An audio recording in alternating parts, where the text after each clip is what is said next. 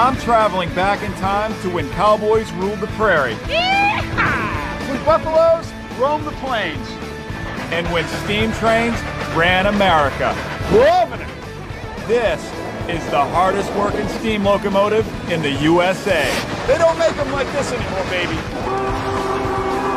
This is living, breathing history right here today. My name is Matt Bown. Ever since I was a kid, I've been obsessed with trains. My day job? I work on a railroad in Maine. But this is my dream to ride the biggest, fastest, most awesome trains in history.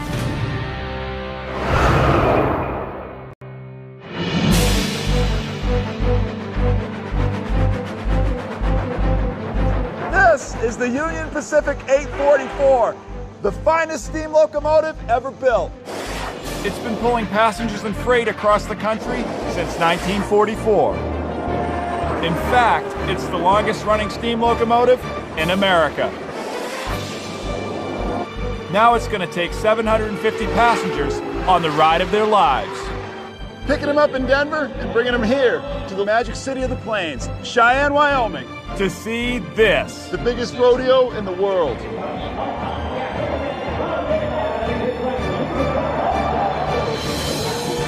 It's the most prized ticket in American railroading. All aboard! And I've got a VIP pass. It's a 100 mile straight shot from Cheyenne down to Denver's Union Station. There, we'll turn the train around, collect the rail fans, and bring them back to Cheyenne for the rodeo.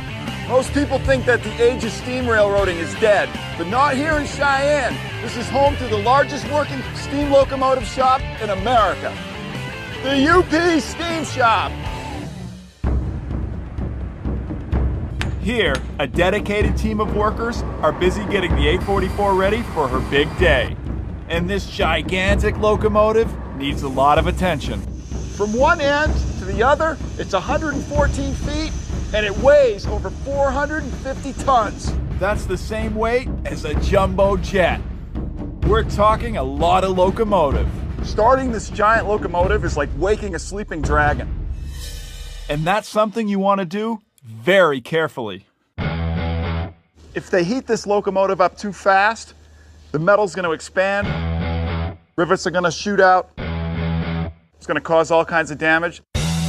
So, what they do is they take warm steam, they pump it through this hose into the boiler, and warm it up slowly. It's like warming your car on a cold winter's morning, but a lot more dangerous. The temperature of this steam is nearly 400 degrees. That's enough to melt the skin right off your face. So Ed here wants to make sure this hose is on tight.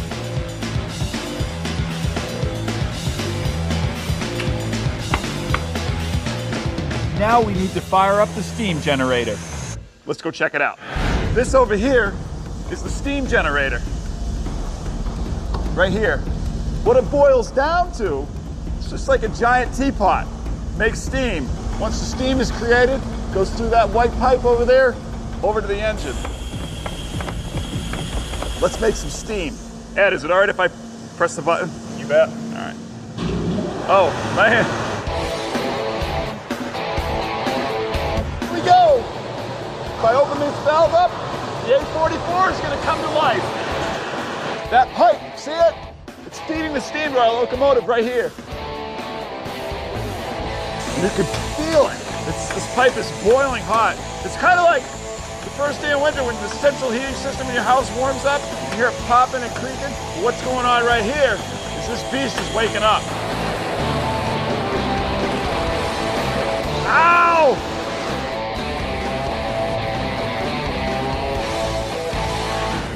It takes skill, craftsmanship, and patience to work on these giants. But the basic principles of a steam engine are pretty simple. Here's how it works. Fuel is burnt in the firebox to create heat. The heat turns water into steam. As the steam expands, it's forced through a series of pipes into a set of pistons. The pressure of the steam drives the pistons. That's what makes the wheels go round.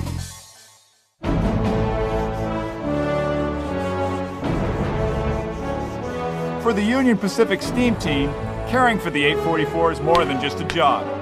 It's a labor of love. Gotta make her happy. She's a living, breathing creature. She's alive. Yep. You gotta treat her right.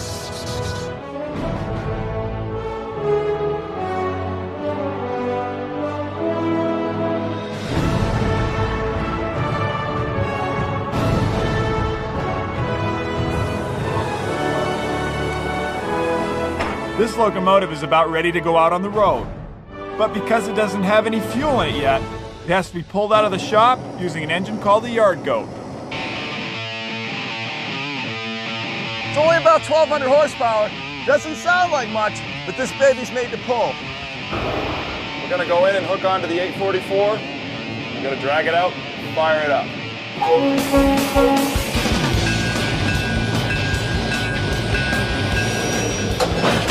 Boom! There's the hook.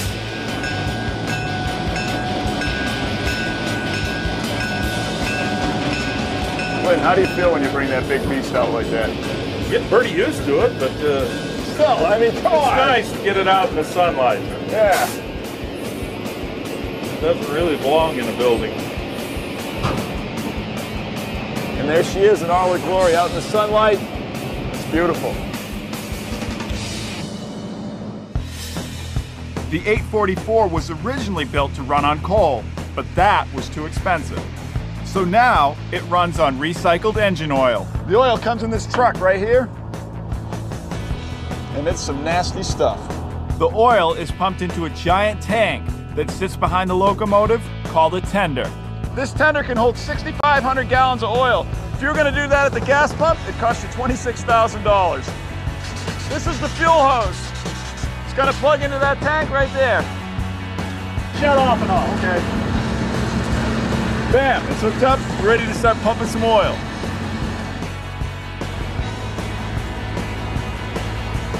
The oil comes from the truck down there. It's pumped up this hose, goes right into here and down into the tank. You can see it in there. It's filling up. All right, show us the dipstick. Wow, look at that dipstick. Oh, wow. Getting up there now. 75 inches is full. It's like a dipstick for your car, except it's about eight feet long. 6,500 gallons of oil might sound like a lot, but this engine sure can drink. For every mile, the 844 burns 15 to 25 gallons of this fuel right here. That's one of the reasons they had to get rid of these locomotives, because they're not very efficient.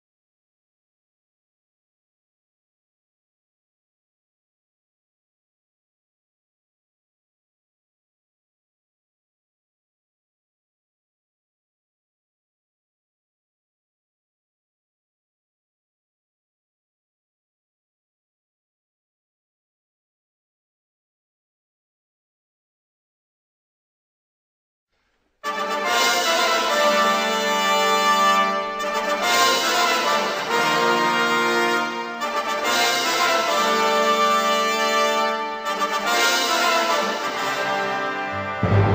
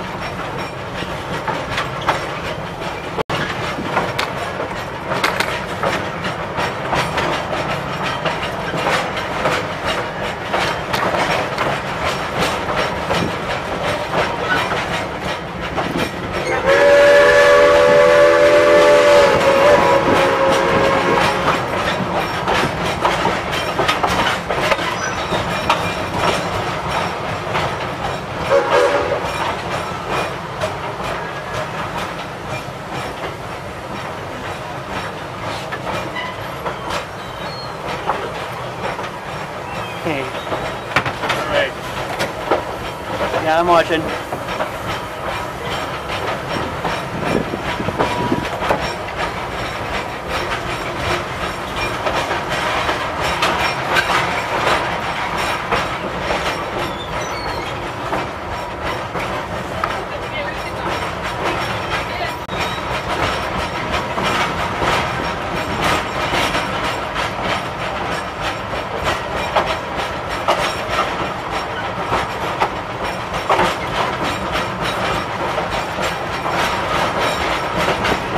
Like this since 2 o'clock. Yeah, It started raining here too. yeah, I know.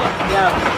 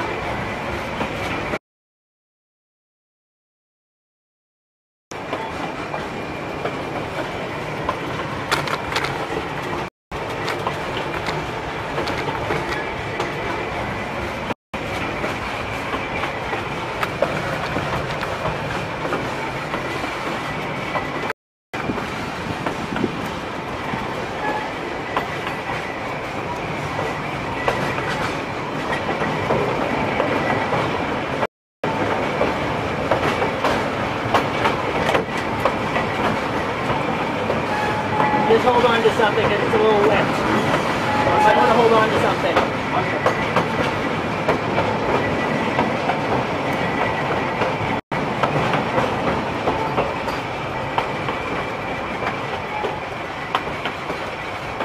Once we get up to Windy Pass, we're going to start the climb, the big climb. The 4% grade. What are you? Oh, you uh, camera.